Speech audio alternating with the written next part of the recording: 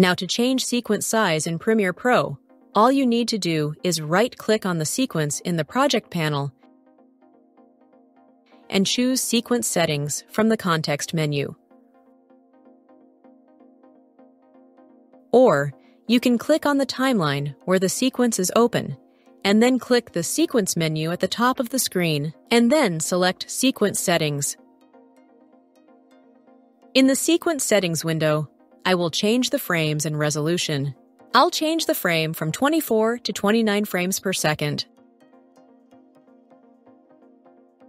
Now, I'll change the resolution from Full HD to 4K.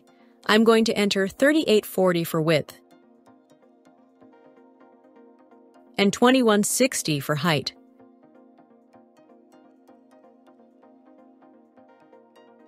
After making your adjustments, click OK. If your clips do not fit the new sequence size, you may need to adjust their scale. And that is how to change sequence size in Premiere Pro.